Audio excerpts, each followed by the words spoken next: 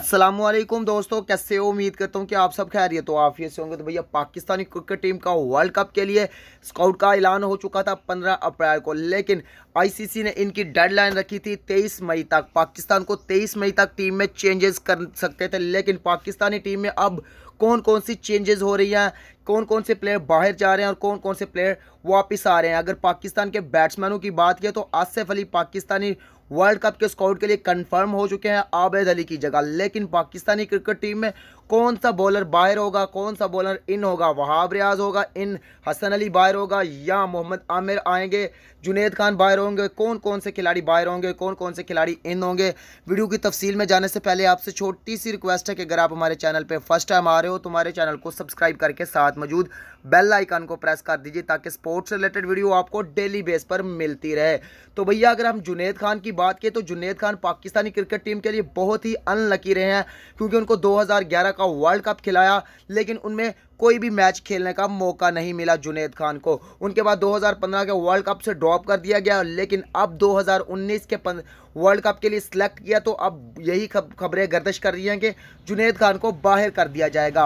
अगर जुनेद खान के सबका रिकॉर्ड की बात करें तो उन्होंने उनवासी वनडे मैच में 110 विकेटें हासिल की हैं। अगर उनकी मिकी आर्थर के जब हेड कोच बने हैं उन उनमें मैचेस की बात की तो उन्होंने 24 मैचेस में 32 खिलाड़ियों को आउट किया हुआ है।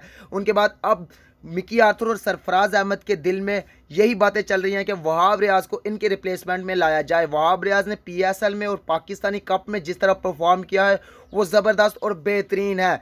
अगर ये भी फैसला किया जा सकता है कि मिकी आर्थर कह रहे हैं कि वहाब रियाज को बुलाने की बजाय फ़हीम अशरफ को ही पाकिस्तानी टीम के साथ रोका जाए। फ़हीम अशरफ की अगर बात की जाए तो फ़हीम अशरफ ने 23 मैचेस में 20 विकटें ली हैं। ये पाकिस्तानी के लिए एक बतौर ऑलराउंडर खेल रहे हैं, लेकिन वो ऑलराउंडर जैसी परफॉर्मेंस नहीं दे रहे।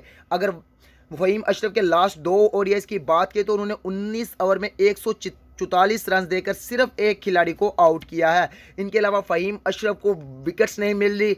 यही बातें चल रही हैं कि अब फ़हीम अशरफ को रोका जाए या जुनेद खान को तो वापस भेजना है। फ़हीम अशरफ को रोक लें या वहाब रियाज को बुला लें। अभी तक कोई भी कंफर्म न्यूज़ नहीं आई। अगर वहाब रियाज के हवाले से कोई भी आपको कंफर्म न्यूज़ आती है तो हम आपको सबसे पहले आप तक पहुंचाएँगे। तो भैया वर्ल्ड कप की न्यूज़ हासिल करने के लिए हमारे चैनल को ज़रूर सब्सक्राइब कीजिए और साथ मौजूद बेल आइकन को प्रेस कर दीजिए ताकि स्पोर्ट्स रिलेटेड वीडियो आपको डेली बेस पर मिलती रहे। तो भैया, मैं मिलता हूँ आपको किसी नेक्स्ट अच्छी सी वीडियो में। तब तक के लिए मुझे अपनी दुआओं में ज़रूर याद रखना।